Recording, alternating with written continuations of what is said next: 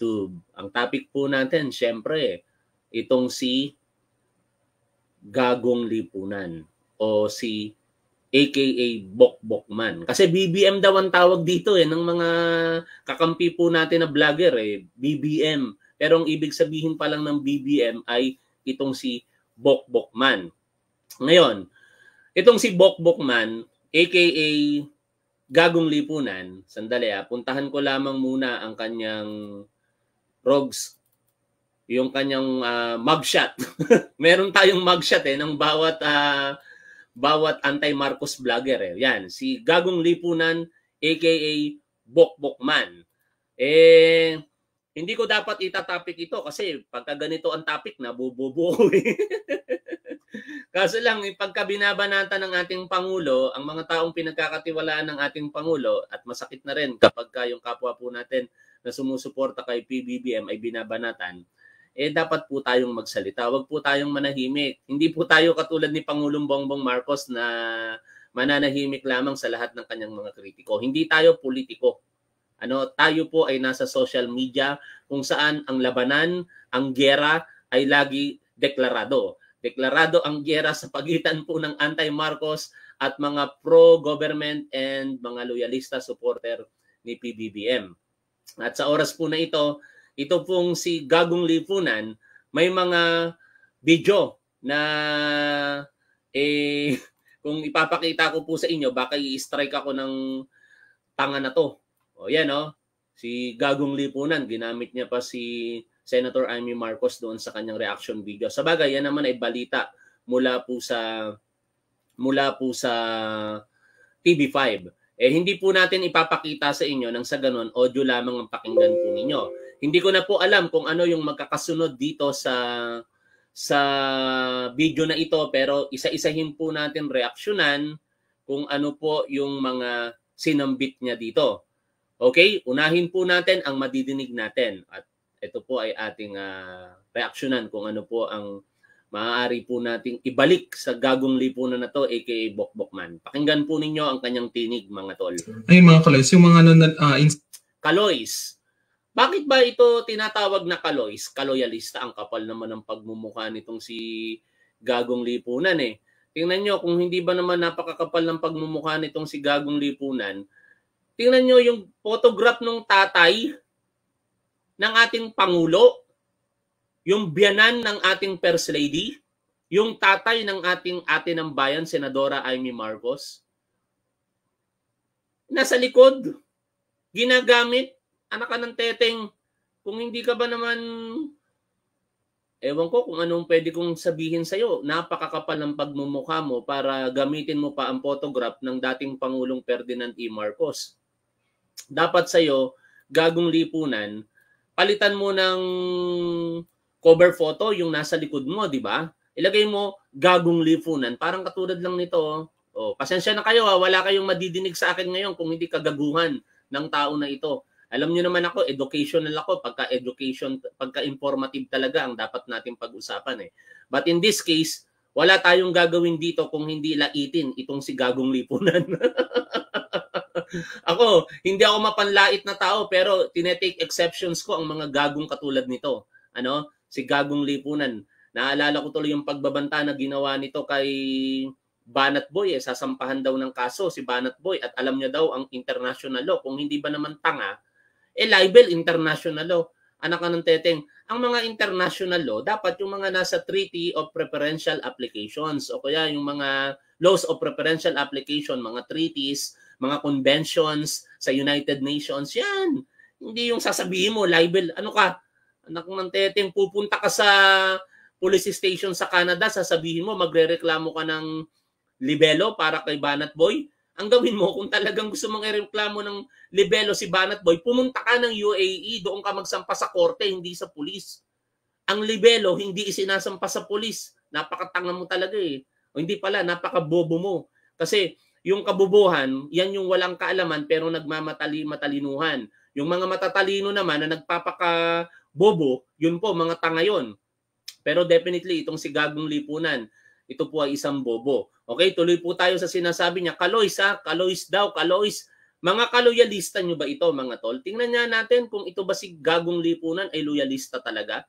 Kasi ang naririnig ko rito, ito naman daw po ay hindi hindi daw talaga produkto ito ng mga ng kanyang mga magulang na isang loyalista sapagkat hindi naman daw loyalista ang kanyang mga magulang. Ano? Ito daw po ay nakabasa lamang ng libro at doon sa pagbabasa niya ng libro dahil sa kanyang kabubuhan idineklara ang kanyang sarili na loyalista. At ngayon, pagiging loyalista niya para lang doon sa ama, pero pagdating sa anak at sa apo at sa pamilya ng kanyang hinahangaan ni Lolo uh, kung saan siya loyal, eh kanya naman binabalahura. May ganung uri ba ng loyalista? Di ba wala? Kapag ka loyal ka sa isang tao, dapat loyal ka rin sa mga mahal nito. Ganun kasimple yon. At kung loyal ka kay dating Pangulong Ferdinand E. Marcos, dapat minamahal mo at nagiging loyal ka din sa anak nito. O, kung hindi ka ba naman tanga at bobo, gagong lipunan. Tanggalin mo na yung photograph dyan ng dating Pangulong E. Marcos. Napakakapal ng pagmumukha mo. Tuloy natin ang sinasabi dito nitong si gagong lipunan. Sa Bada Vloggers ay pumunta doon. Oy, yung mga ensamanda, ensamanda, ensamayda, ano ba? Ensaymada. Ano ba 'yon? Ensaymada, tinapay ba 'yon? Yung mga ensaymada vlogger daw pumunta. Aba, kung kung ang, kung ang tinutukoy niyang pumunta, eh parang yung Team Tugon 'yon. Ano? Yung si Kakiraki nandoon, si Palerista nandoon, si sina 2.0, sino pa ba? Yung mga miyembro ng Team Tugon, si Mami Peng nandoon, si JC De La Cruz nandoon. At hindi ko natanda ang mga pangalan, Vincent Tabige, lahat ng mga PBBM vloggers ang, tawa, ang, ang tawag niya Ensaymada. Bakit kaya Ensaymada tawag? Kasi mahilig sa Ensaymada yung mga vlogger. Ganun ba yun? Ako hindi ako mahilig sa ensaymada. Mahilig ako sa tasty. Ano? Yung tasty na whole wheat bread. Kasi kailangan ko sa diet. But going back dito kay Gagong Lipunan, tinatawag mong ensaymada, mamahalin ng tinapay na ensaymada. 'Di ba? Hindi ka makakakain ng isang ensaymada kung wala kang halagang 20 pesos at least. Ang halaga yata ng ensaymada sa bakery ngayon, parang 20 pesos each eh. Depende pa sa pagkakaluto o pagkakagawa, ano, pagkakabake. O ngayon, kung ensaymada, big time ang mga vlogger. Ano ba yon Pinagkaiba, ensaymada, empanada, may tumatawag sa akin, empanada vlogger daw ako, ensaymada vlogger. Ano yon Hindi ko kasi alam yun. Ang pagkakaalam ko lamang nung noong uh, holiday, Disyembre, eh naimbita ang mga vlogger para sa meet and greet sa ating mahal na Pangulo. Tapos pinakain sila doon ng mga masasarap na merienda kasama po doon yung tinapay yata na ensaymada. O doon yata nagsimula ano kasi yung isang si M, si Elephant, yung kasama po natin sa Rogues Gallery, eh sa kasi kulang-kulang, yun daw po yung nag-leak kay Maharlika na ang mga ipinakain daw ay tinapay lamang. Kung hindi ba naman mga eng-eng talaga tong mga to. Kahit tinapay lamang yung pinakain kayo, dapat i-appreciate ninyo. Palibasa, elephant kasi, kaya gusto siguro kainin malalaking damo. Pero lumalayo ako dito tayo kay Gagong Lipunan. Tuloy natin. Ito ang tinutukoy niya rito mga tol. Yung yung uh, Tan-ok ni Ilocano 2023, the Festivals of Festival. Ano? The Festival of Festivals. O yan po yung tinutukoy niya dito. Ano kaya ang sinasabi niya rito? Tuloy natin. Okay, may invitation. Yan. Bago pa nangyari yon ay may isang vlogger na proud na proud, in-invite daw siya ni Matty. O si Yawase, salamat. At itong ha? vlogger na to ay kasama sa mga vlogger ni Senator Raimi. Aba, parang alam ko na ang tinutukoy niya kung sino. Kasi, alam nyo, parang may post ang isang vlogger ng email mula po sa ating gobernador diyan po sa Ilocos Norte. Wala namang masama doon, 'di ba? Kung ipinost niya man 'yon sa social media at nakita mo gagong lipunan, inggit ka lang, mamamatay ka sa inggit, nakakamatay ang inggit. Yan ang mahirap sa inyo eh, porkit may mga vlogger na napapalapit sa isang tao, lalong-lalo na ngayon sa pamilya Marcos, kinaiinggitan ninyo. O, tingin ko ang tinutukoy niya rito, si, pangalanan ko na, si Mami Peng. Tingin ko, yun ang kanyang tinutukoy dito kasama dun sa pelikula na Martyr and uh, or Murder Murderer, right? Yan ha. Okay? Yung imbitasyon, kung hindi ako nagkakamali, tingnan natin sa profile ni Mami Peng. Ano? Ay, hindi ko yata... Sandali ah. Makikita ko ba dito? But anyway, kung hindi natin makita, no worries. Ano, tingin ko si Mami Peng ang pinapasaringan niya rito. Ayan na nga, nag-post na nga si Mami Peng. Oh, hindi na napigil ni Mami Peng. Teka lang ha, basahin natin yung post ni Mami Peng.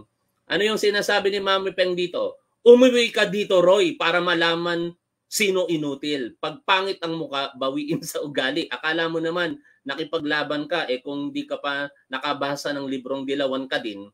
Sino si Roy Domingo? Siya po ay content creator ng Gagong Lipunan YouTube channel. Nagpapakilalang loyalista dahil nakabasa ng libro pero di binanggit, di nabanggit 1987 Constitution, ayun, bumaliktad. o tingnan natin, no? Tingnan natin yung post ni Mami Peng. Parang nakita ko yun eh. Pinost niya yun eh. At walang masama doon. Ano, naiinggit lang kayo, mamamatay talaga kayo sa inggit sa pinaggagawa ninyo eh. Ito ba ikinaiinggitan mo porket malapit si Mami Peng at ibang mga vlogger sa pamilya Marcos kay Congressman Sandro Marcos na interview nila. Nakakamatay ang inggit, huwag kayo maiinggit. Anak ka ng teteng kayo, inggitero kayo. Kaya galit na galit kayo kay Thinking Pinoy dahil inggit na inggit kayo eh. O, hindi ko makita dito pero I believe tungkol yon sa isang email mula po sa Office of the Governor ng Ilocos Sur. Ano? Kung hindi ako nagkakamali, parang may ganong uh, invitations. At very proud ka dapat sa ganong pagkakataon dahil inimbita ka natatangi kang naimbitahan. At ano ikinaiinggit nyo ngayon doon? Pakipalo nyo po si Mami Peng sa, bakit hindi ako nakalike dito kasi bago tong profile ko eh. Pakipollow nyo po si Mami Peng, loyalista sa SOCMED, saka meron po yung YouTube channel. Ngayon, bumalik tayo dito kay Gagong Lipunan. Alam mo, Gagong Lipunan, ang masasabi ko lamang sa'yo, kung ganun lang ang argumento mo at merong isang vlogger na naimbitahan at pumunta doon sa pagtitipon noong 25 of February at nag-celebrate kasama ng mga Ilocano sa tinatawag na Tan-Ok Iloca, ni Ilocano 2023 or the greatness of Ilocano yata ang ibig sabihin sa English noon. Wala kang magagawa. There is nothing wrong with that. You know, walang illegal na ginawa si Mami Peng. At higit sa lahat, hindi kasipsipan yon kung hindi ka ba naman timang Bilang isang loyalista na katulad ni Mami Peng, loyalista mula noon, ngayon hanggang sa hinaharap, eh normal at SOCMED personality siya. Vlogger siya. Ano anong gusto mo? Iba-vlog ni Mami Peng yung Dilawan? Gusto mong pumunta si Mami Peng doon sa may EDSA at doon siya mag-celebrate ng 25th of February? Ang 25th of February, kanya-kanyang pananaw lang yan. Kung si Senator Amy Marcos at si, si Miss Elizabeth Oropesa, eh nasasaktan sila, alalahanin ang date na yan, wala kang magagawa. Kung ang ibang mga Marcoses, lalong-lalo na ang mga millennials sa kasalukuyan, eh hindi na kinikilala at kinakalimutan na yan. Anyway, ang buhay ng tao parang parang hangin lamang na dadaan, lilipas din tayong lahat. Lahat po tayo pupunta sa ating hantungan. Nauna lamang ang ating mga magulang, nauna lamang ang ating mga lolo't lola, kasama na dyan ang dating Pangulong Marcos. At ang sakit ng nakaraan, hindi naman natin pwedeng palagiin manatili sa ating puso at isipan. Ngayon, si Pangulong Bongbong Marcos, libre nung araw na yon, pumunta sa Ilocos Norte. Ang kanyang pamangkin na anak nitong si Senator Amy Marcos ay si Governor Matthew Marcos nagdiwang kasama ng matagal na nilang isineselebrate na Tan-Ok ni Ilocano. Gobernadora pa lamang si Senator Amy Marcos, sinabi niya sa programa na yan sa TV5, eh sineselebrate na nila yon. Masama ba na magpunta doon si Pangulong Bongbong Marcos? Hindi. Dahil after all, yung ginagawa ng mga dilawa na pag-celebrate sa EDSA ay naratibo lamang nila ng kasaysayan. May sariling kasaysayan ng mga Marcos na dapat malaman ngayon ng publiko. O bukas, martyr or murderer. Eh siguro naman, hindi mo papanoorin yung gagong lipunan kasi tanga ka nga. Okay? Lipat tayo doon sa isang video niya. Tingnan natin kung parehas to. Yan. So pinakita na in advance, di ba? So mahalata mo talaga mga kaloys kasi nga sa invitation pa lang, di ba? Eh dapat doon na siya nag ano, di ba, nag-react. Hmm. Bakit ganung araw niyo sineselebrate 'yan, di ba? Ah, kanina pa pala to. A week before pa yung invitation, mga kaloys. Okay. Transfer so, natin. So, tayo. ano na lang kayo mga Marcos loyalist para Ito naman, kayo naman ang mga tinitira, mga Marcos loyalist. Kasi ako, BBM loyalist ako eh. Hindi. PBBM supporter ako, nagpapatawa lang ako mga tola. Tinitira kayo nitong si Gagong Lipunan. Pasensya na kayo, hindi ko pinapakita kasi hindi naman ako tanga dito sa YouTube. Sayang pa, binasa ko yung community guidelines, eh, pati yung technical aspect nitong YouTube at Facebook. Magpapakatanga ako. Kaya hindi ko ipapakita ang video nitong si Gagong Lipunan nang hindi tayo ma-strike. Audio lang. O, tuloy tayo. kayong tanga? Ngek! Mga loyalista, tanga daw kayo. Uh, tingnan nyo ha, pakinggan nyo yung sinasabi ni Gagong Lipunan, uulitin ko lang ha. Tinawag kayong tanga. Ang pagkakalam ko, ang mga tanga, yung mga nagmamatalinuhan, katulad nitong sa Gagong Lipunan, alam daw ang batas, hindi naman pala alam ang proseso sa pagsasampa ng kasong libelo. Yon ay hindi pala tanga yon, kabubuhan yon. Ano? Tingin ko hindi tanga itong si Gagong Lipunan eh, tuso ito eh. Kasi bakit? Ang kapal ng pagmumukha, yung photograph ng ating dating Pangulong Ferdinand E. Marcos patuloy na ginagamit para makakuha ng simpatya sa mga loyalista. Ang problema, yung ibang loyalista nabubulag. Loyalista daw sila sa dating Pangulong Marcos, pero hindi sila loyalist sa kasalukuyang Marcos. Anong uri yon? O, tingnan nyo ha, kung pa- pakinggan nyo mga tol ha, kung paano kayo sinabihan na tanga nitong si Gagong Lipunan. So, ano na lang kayo mga Marcos loyalist para kayong tanga? Mm. Ah, para kayong tanga. Hindi naman pala kayo sinabihan ng tanga. Pero ako na magsasabi sa iyo, gagong lipunan, hindi parang tanga ang mga Marcos loyalist. Sila ay loyalista sa puso at isipan. Yun ang nararamdaman at nakikita ko sa kanila. And that is why hindi mo na bago ang kanilang paniniwala simula noon. Hindi na bago ng kahit sino. Simula noon, Nagkapukan daw sa EDSA nung uh, nakalulungkot na araw na yan, noong Pebrero 25, ang mga katauhan ni na Elizabeth Oropesa, Res Cortez, Rio Locsin, uh, Apeng Bisaya at iba pa. Marami yung mga binanggit na pangalan doon po sa post na kinumentan itong si Elizabeth Oropesa. Eh. Hindi ko na lang maalala yung mga pangalan. Pero napakarami nila na talagang uh, nakaranas ng karahasan sa panibagong administrasyon na inagaw lamang sa dating Pangulong Marcos. O tapos sasabihan mo ngayon itong mga loyalista na tanga, hindi sila tanga.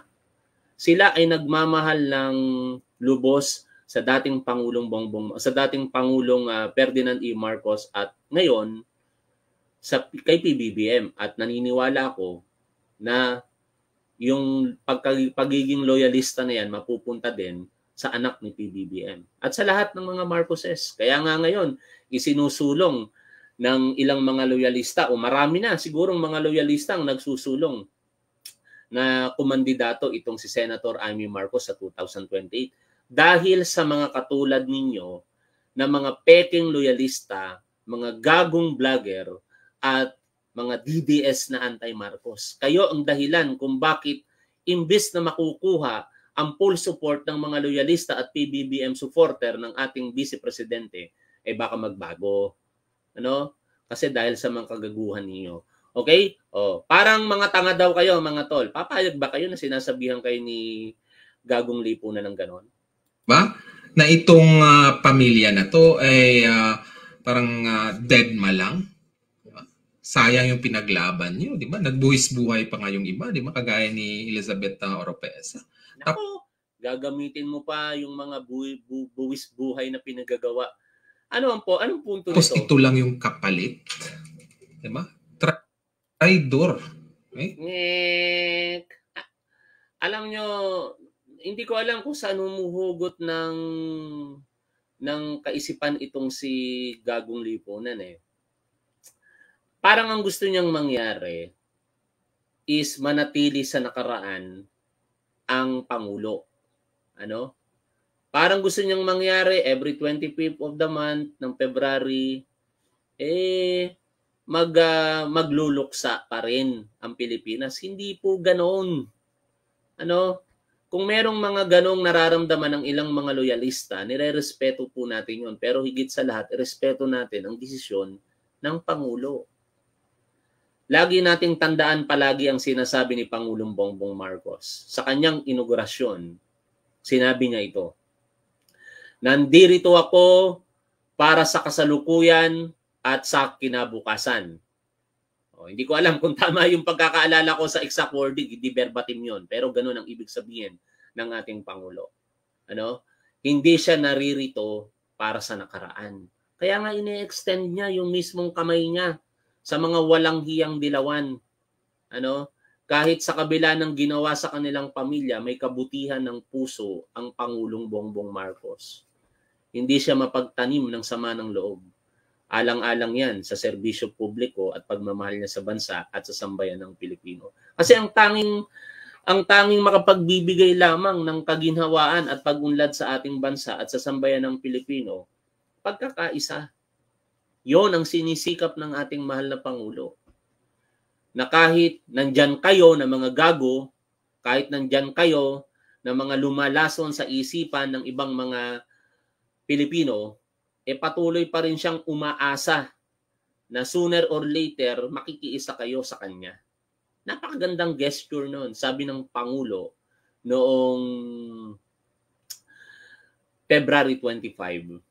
Nakikiisa siya sa pagbalik tanaw sa kasaysayan at pag-alala sa isang pighati na bahagi ng kasaysayan pero dahil dito ang mga Pilipino ay nagkaisa at naging matatag. Sinabi pa ng Pangulo, muli niyang inaalay ang kanyang mga kamay, hinahandog ang kanyang mga kamay tungo sa pagkakaisa para sa ating bansa na maging matatag at maunlad sa hinaharap. O, hindi nyo ma-appreciate yun kasi mga tanga kayo. Mga bobo kayo. Hindi nyo arok ang katalinuhan ng Pangulong Bongbong Marcos kung arok nyo man, kayo kasi masyadong mga tuso, mga mapag-imbot, mga merong personal na interest, mga oportunista, at hindi lamang napagbigyan ng inyong mga kahilingan, kaya kung ano-ano ngayon ang ginagawa nyong paninira sa ating mahal na Pangulo. Hindi kayo magtatagumpay sa inyong mga ginagawa. O additional, uh, ito, ano naman itong uh, sinabi niya rito? Pakinggan natin. Eh, hindi nag-iisip eh. Sabi, sabi kasi niya, Ma'am, no one remembers that na. Tapos na yan. That's over for my generation. Okay? Kalimutan na lang daw mga kalis. So it's time for us to kalimutan na rin yung ano. Yung itong mga pamilyang Marcos na to. Yes. Bongogs. Ang kausap ni Senator Amy Marcos doon, yung anak niyang millennial. Ilan taon na ba si Gob Machu? Wala pang 40. Ilan taon na si Gob Macho mga tol? Nasa 30 something. Oh. Siyempre siya, ipinanganak probably eh, 80s. Hindi niya na alam kung ano talaga ang nangyari nung 80s. Oh. Ngayon, kung sa tingin nyo, nag-celebrate ang Ilocos Norte nung 25 o February, anong masama doon? Babalik lang ako sa sinabi ko kanina, walang masama doon. Walang masama kung ang isang bagay na nakalulungkot sa buhay natin eh sa hinaharap ay maging masaya naman tayo partikular sa araw na yon. Walang pinagkaiba yan. Ang tatay ko namatay September 23. Ang nanay ko namatay May 25. O, yung mga date na yan, hindi ko yan ipinalulungkot. Si Pangulong Ferdinand Marcos Sr. namatay September. O, yung mga pighati sa buhay ng Pilipino, alam din natin kung ano ang mga dates na yan mananatili ba tayo diyan sa nakaraan? Hindi, di ba? Dapat ang iniisip natin kung paano tayo makakaraos sa araw na ito at sa hinaharap, kung paano tayo makakatulong sa ating kapwa. Kung tayo'y mananatili sa nakaraan, tandaan ninyo ito, hindi magbabago buhay ninyo. Ano, we have to learn from the past. Kailangan matutunan lang natin ang mga pangyayari sa nakaraan at wag po tayong manatili dito. Otherwise, pag nanatili tayo sa nakaraan, walang magiging pagbabago. Mamamatay po tayo na mayroong pag-iimbot sa sarili galit sa ating mga puso. At wala noon ang ating Pangulong Bongbong Marcos. Yon ang kaibahan ng ating Pangulo, kaya natatangi siya. No? Walang makakatulad kay Pangulong Bongbong Marcos. And that is why royalista niya ako. Alam mo, gagong lipunan. Yung uh, mga pinagagagawa mo talaga ngayon, actually, wala eh. Ito naman, hindi ko naman pinapanood ang YouTube channel mo. Kasi to be honest with you, may mga kaibigan ako sa mga vloggers na binabanggit mo at na share nila itong mga audio na ito video na ipinaparinig ko sa inyo, mga tol. Ano, at sabi ko nga hindi naman dapat ito yung topic ko. Kasi ang ganda, alam nyo ba, napakaganda ng naging press briefing kanina sa pangunguna ng chief admin ng administrator po ng National Irrigations Authority. Nire-upload ko na po iyon sa ating Top 1 archive. Panoorin nyo sapagkat napakaganda ng tinalakay doon kanina. Mga plano ng ating Pangulo na magbabago sa napakaraming sektor ng ating lipunan. Okay? But anyway, eh baka lalo lang ako mabobo pag pinagpatuloy ko tong pag-react ko dito kay Gagong Lipunan eh. Nakaka baka mahawa tayo ng kabubuhan. Kaya siguro tama na yung mga 15 minutes na inilaan po natin sa kanya para maipakita kung gaano siya kagago, kung gaano siya katanga, at ipamukha sa kanya na siya, na siya isang oportunista, na siya isang uh, mapagsamantala, lahat ng mga negatibong bagay pwede nating sabihin dito kay Gagong Lipunan o aka Bok Bokman sa totoong pangalan Roy Domingo. Sige, demanda mo ko Roy Domingo. Hinahamon kita. Umuwi ka dito sa Pilipinas at idemanda mo ako ng libero. Turuan pa kita. Ako nagagawa ng complaint affidavit para maisampa mo sa prosecutor's office. Pero pag ako gumawa, edi ma-dismiss. Kasi bias. Anyway, maraming maraming salamat sa inyo mga tol. Ngayon, salamat